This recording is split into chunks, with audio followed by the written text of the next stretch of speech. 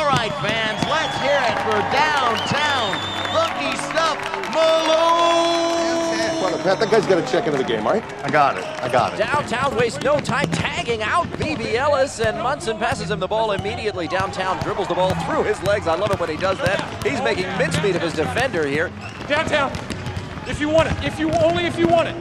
You don't want it. I can feel it. You don't want it. Okay. That's right, Nets. You're not going to stop it.